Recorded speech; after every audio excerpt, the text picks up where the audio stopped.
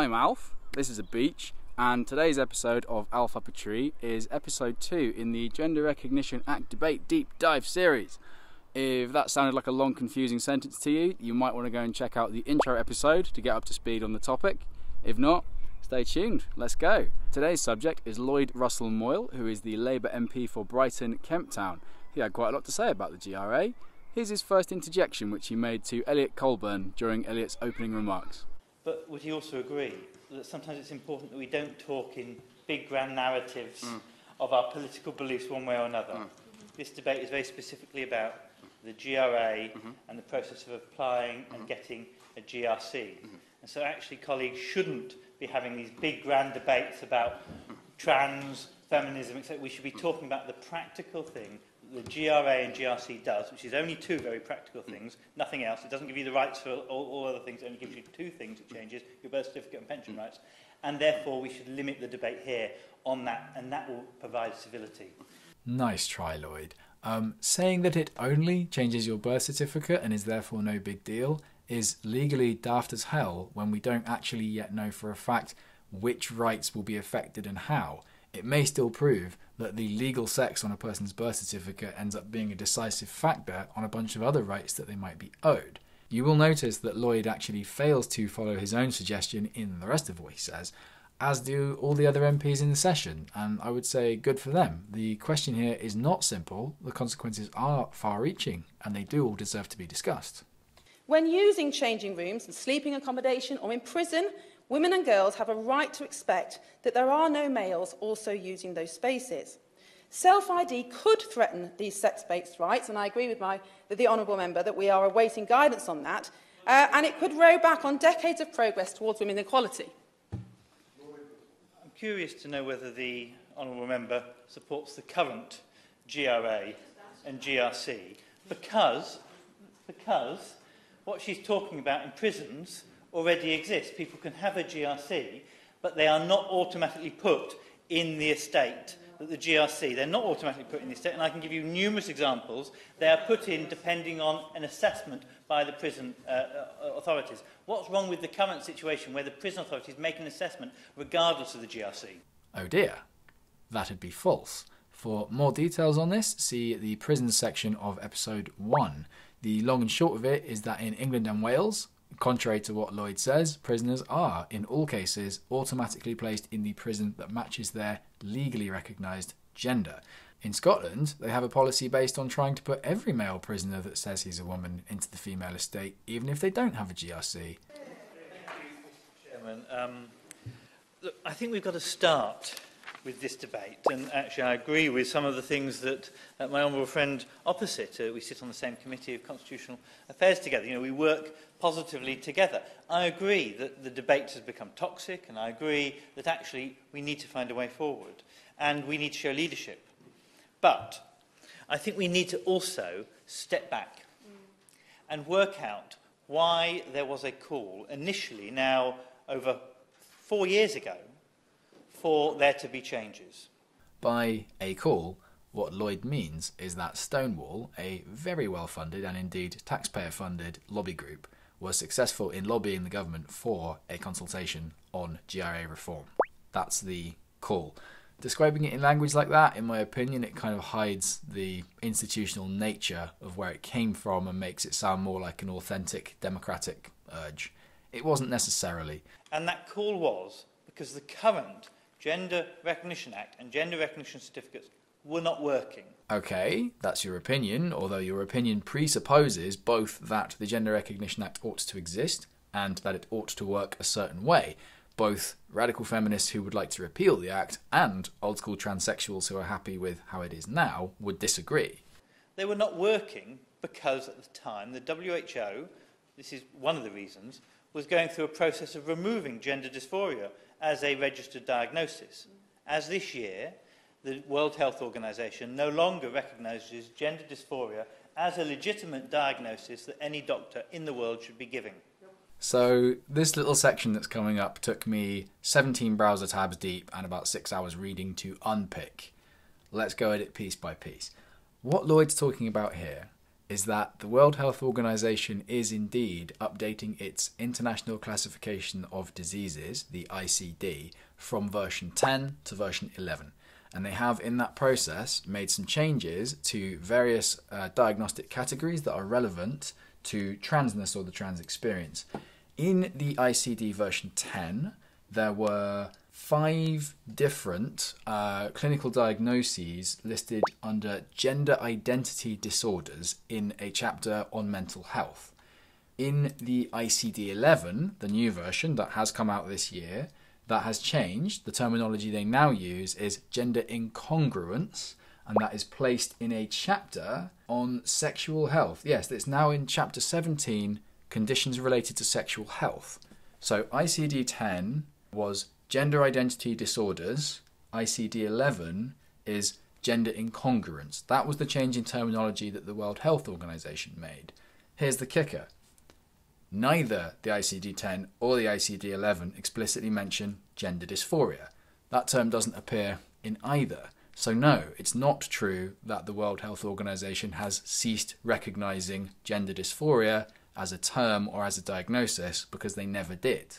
Lloyd could counter argue that I'm being pedantic by looking at the explicit term only and missing a deeper point in the definition, but I'm not. If you have a look at the definitions, and I recommend you do, in the ICD 10 and the ICD 11, the old version, the ICD 10, has transsexualism as one of its gender identity disorders, and that is defined as a desire to live and be accepted as a member of the opposite sex, usually accompanied by a sense of discomfort with or inappropriateness of one's anatomic sex. In uh, the ICD 11, they changed the term from transsexualism or gender identity disorder to gender incongruence, and they defined that as being a marked and persistent incongruence between an individual's experienced gender and the assigned sex, which is basically the same thing, right? So, really, the change between these two versions is just a superficial bit of window dressing, mostly done to remove some terminology that a certain group of trans rights activists didn't like. We're going to come and have a look at exactly how that happened shortly. We now require our doctors to break WHO guidelines to continue to abide with the Gender Recognition Act. So, this is just all kinds of wrong. Um, firstly, doctors aren't obliged to abide by the Gender Recognition Act. They are obliged to abide by their own clinical and ethical codes. If they think that they can make an appropriate diagnosis, they can make it. They don't have to make it because a piece of law says they do. That's problem one. Problem two, as we just spoke about, gender dysphoria as a term didn't appear in the ICD 10 either. So if Lloyd's having a grievance there about the terminology changing and the NHS not keeping up, then that should have applied all the way back in 2004 when the Act came out. The ICD 10 was live then. A third problem crops up when we look at the NHS's actual definition of gender dysphoria. They define it as being a sense of unease that a person may have because of a mismatch between their biological sex and their gender identity. So they do explicitly mention sex, but they don't outright name it as being a mental health disorder.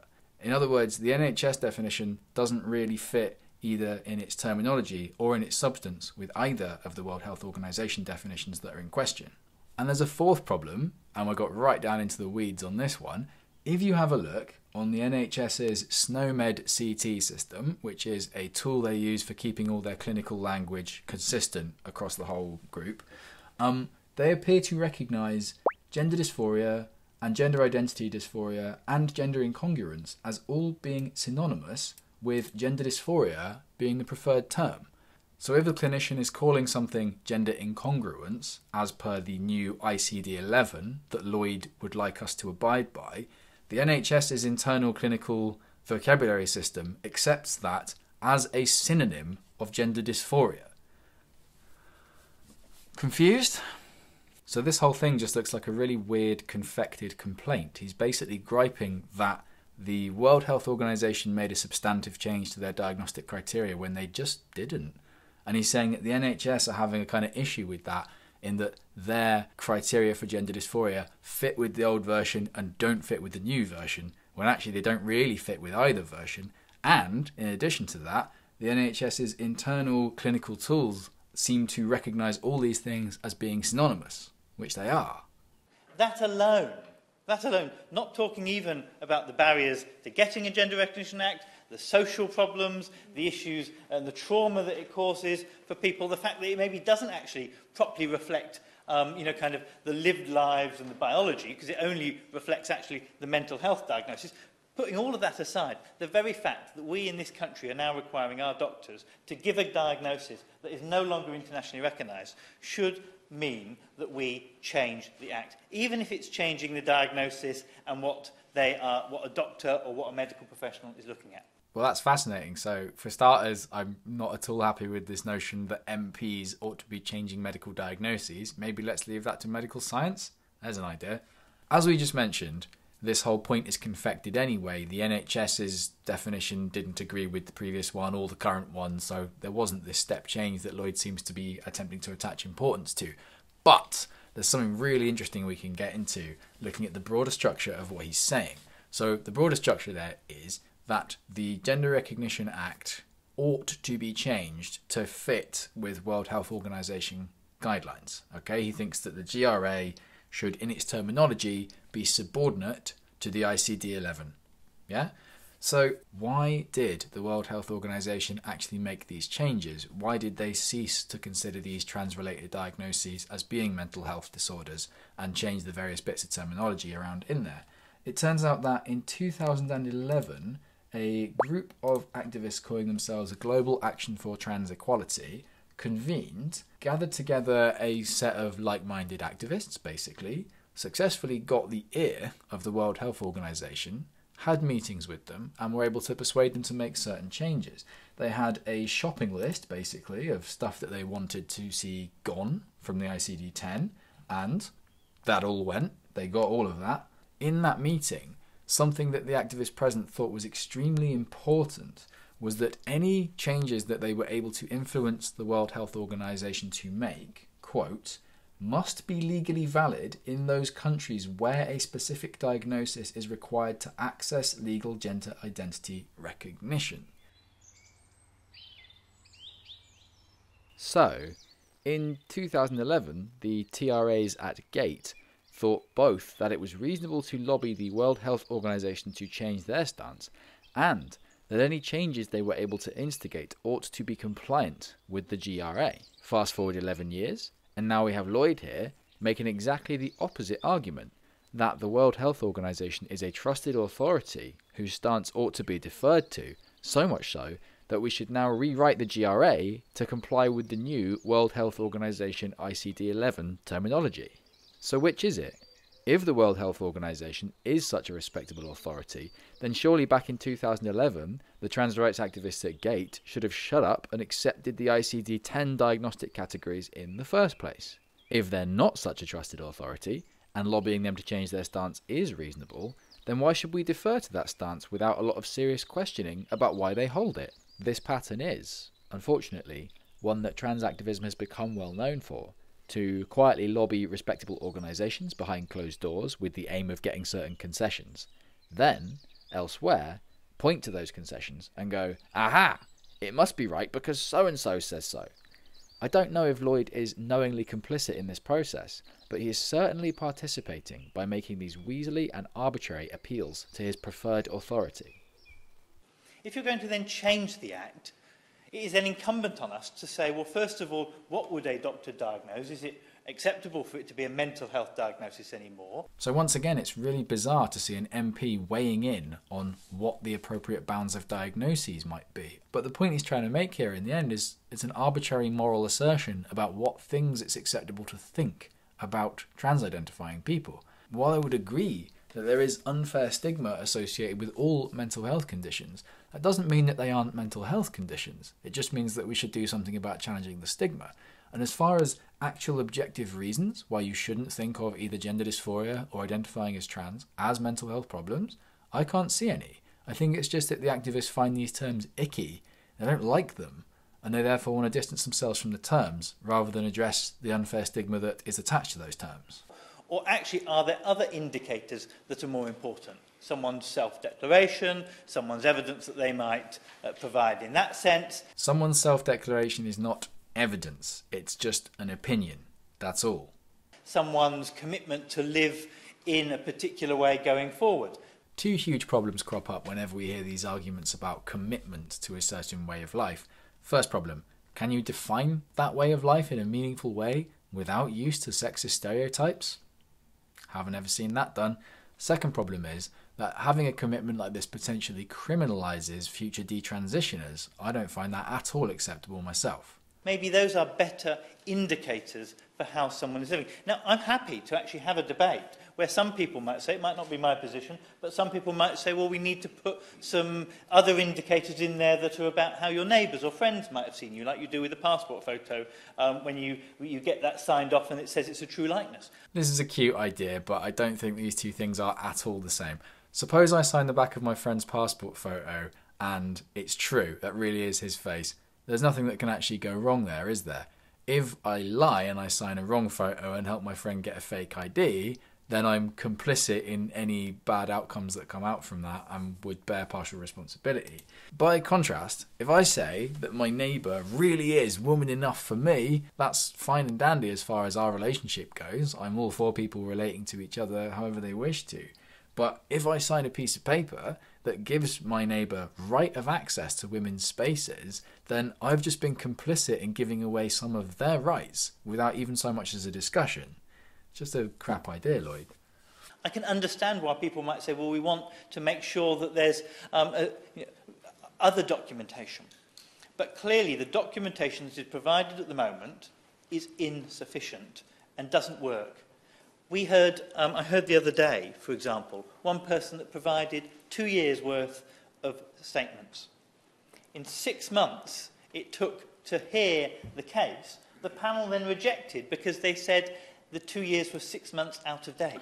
It is a Kafkaesque kind of situation. You submit the documentation, the delay happens, so then they reject it, and so no wonder so few people then feel that they are enabled to submit. And in the end, they had to resubmit, going, providing evidence effectively in the future, as it were, to be able to submit it and to be able to get them. So there is a problem with the system, and I think that is the starting point we have to come from. No, people can come from whatever starting point they want on this question. There are people that want things to stay as they are. That can be a valid argument. There are people that want to repeal the GRA. That can be a valid argument. And of course, these arguments in favour of reforming it should also be heard. I would agree with Lloyd that it's cruel to make people jump through weird and, as he says, Kafkaesque bureaucratic hoops but Lloyd's preferred solution to that seems to be to just open the door and let everyone through, whereas I would prefer to probably remove that door, realizing that it was a silly door in the first place. If you do that, all of this administrative issue goes away. And that is the starting point the government had. But unfortunately, they opened up a Pandora's box four years ago. Just to keep everyone up to speed on what it is that Lloyd is actually talking about there, He's referring to the government's 2018 consultation on potential reform of the Gender Recognition Act, where this ball started rolling. Where everyone's worst fears and nightmares could be ploughed in on all sides of the debate and argument. And rather than showing leadership, they allowed it to fester. So, this I agree with. The government have been really weak and inconsistent with their messaging, the combined effect of which has been a bit like dangling a carrot in front of the trans rights activists on the one hand, while simultaneously waving a giant red flag in the faces of gender critical people and radical feminists on the other hand, and then stepping back and going, Fight! The results are inevitable. And now what's happened is a process of suggesting that they'll remove the fees ignoring, of course, that you have to pay often for diagnosis, you have to pay for doctor's letters. It still costs hundreds of pounds, and the barriers are rather high. I've got an idea for you. What if we bring the cost all the way down to zero by getting rid of this process altogether and then attending to the issues that the Gender Recognition Act was attempting to resolve via reformed universal human rights that a person doesn't have to do anything to be protected by? And then talk about going online might make it actually harder, not easier, for some groups of people. I think this lot are very, very online. So actually, we do need to step back and look at that process. Because I hope that we all agree, whilst we might have different philosophical views on some of the other wider issues, that people should be able to, a minority of people, of course, a small minority of people, should be able to change their gender from the gender that was assigned at birth. No, I would disagree with that. I don't think this process should exist at all because it's based in incoherence and it has a negative impact on other rights and laws far beyond the scale of the problems it was trying to solve in the first place. It also seems really disingenuous to be talking about a small minority of people that, in your opinion, ought to be able to do this when the reform that was being discussed this day was to let anybody that wants to do this. Which is it? And that gender will have been assigned at birth, usually because of a physical uh, um, so because of a, a, a visual check, a visual check of that individual. No further, um, no further requirements of what goes on that birth certificate. And so means that many people will grow up feeling very different. It's not really clear to me what Lloyd is actually alluding to here. Maybe he thinks that there are other checks that could have been done to see if a child is trans at the point of birth. There are some people in the trans identifying community who hold to ideas like this, thinking that, for example, fetal exposure to testosterone is a big factor and that this can potentially influence a person's brain sex. Maybe you could discover that that was true of a newborn infant, but it's worth noting that those sorts of ideas are not at all acceptable to rank and file trans activists in the current political scene the people that hold those ideas get referred to as either transmed or truscum, both of which are pejorative terms for people that think there is an important medical basis for being trans. As it stands today, the dominant narrative is only self declaration is acceptable, and of course, a newborn infant is not going to say, I identify as whatever, at the point that their birth certificate is being made. Perhaps Lloyd would prefer it if we were doing the whole babies thing and we just put an X or something on every baby's birth certificate until later on they come to tell us who they are. I don't know. I don't like that idea. But I also think we should recognise that self ID is a particularly difficult term. It's not particularly a useful term. Most of our gendered spaces are already self ID. There is no law in this country on who uses the toilet. Mhairi Black made the same incorrect claim in episode 1, so check out the section there titled Single Sex Spaces for more details. You could just about make the claim that there is a tiny shade of truth in what he's saying, in that there isn't a fully mature set of established case law to nail this point down one way or the other. Really, all we're waiting for is for somebody to bring a claim for indirect discrimination against an institution or their employer saying that they feel uncomfortable using what has become a mixed sex changing room or toilet. The law exists to win that case. Quite right, because actually, where they've been introduced in other parts of the world, they're a nightmare. And if there were, it would probably be, um, I would use the term cisgendered women, but other people could use other terms that they prefer. I'm, I'm happy to have that discussion. But it would be, it would be women who tend to use the toilets um, in public events and go into the men's toilet when there's a huge queue in the women's that would end up getting criminalised if we did have laws that say it was a criminal act to go into the wrong gendered toilet. Maybe I don't hang out in the same pubs and clubs as Lloyd here, but personally I've never noticed the gents being a popular destination for women in times of high usage. Normally, you're quite lucky if the one stinking toilet in the gents even has a toilet seat. Sometimes there's no door. On this hypothetical point of criminal laws barring you from going into the wrong sex toilet, it's a hyperbolic notion that nobody's actually asking for, and in real life it's just not that simple. What we actually have are anti discrimination measures which oblige service providers to offer single sex toilets. That does not mean that it becomes a criminal offence to go into the wrong one. Rather, all that happens is you have breached the policies of that particular provider or institution. They might then ask you to leave or buy you from the premises or initiate some kind of resolution process with you. Further to that, a person might choose to sue a given provider for failure to meet their anti discrimination obligations. And if they did that, that would happen in the civil courts, not the criminal courts, and the outcome would be on the order of fines and orders to correct the problem rather than custodial sentences. I'm not personally aware of any agitation on the gender critical side of the fence for new criminal laws to do with single sex spaces. All that people are asking for is for the existing civil laws to be respected. So clearly it would be it would be bonkers to do it would be stupid to do something like that. So most of those spaces are already self-ID. So we're only talking about a very small number of spaces that might need protections and they are already in the um, uh, the, the current protections. Yes, they are already covered in the current protections, and those protections are a lot more extensive than you might like to admit. Case in point, right here. If by small number of spaces you mean every institutional and public toilet, changing room, etc., in the whole of the UK, that's a small number. I'd say that was a big number, but okay, what do I know? I'm not a mathematician. Now, it's quite right. We need proper, we need proper and better guidelines of how they should be interpreted. But those guidelines need to be written with the trust of all in the community. Yes, they do, including people who would like to keep their single sex spaces. They need not to be seen as some political backlash one way or another, but they need to bring everyone on board. And that also means not trying to rewrite or undermine the progress that many people feel that they have already achieved. Really glad you feel that way. I'm sure all the feminist lot will be super chill now that they know that Lloyd isn't going to take away any of their rights. You can't suddenly take away people's lived lives and their rights away from them.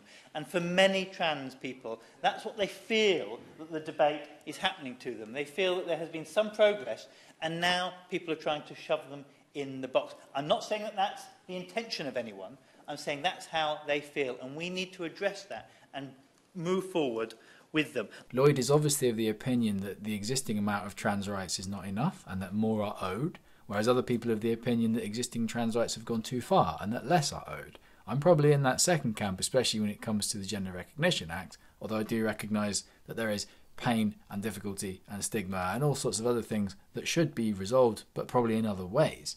I would use the word positive declaration identification. Maybe that's too wordy, but finding a new word beyond self ID is probably useful in this debate because what we're talking about is a legal process that is literally just a pointless rebranding exercise. You could call this thing anything you want, right? You can call it the uh, positive affirmation, self channeling, auto maximalization process with extra bonus chakras and a free packet of cheese and onion crisps if that makes you happy.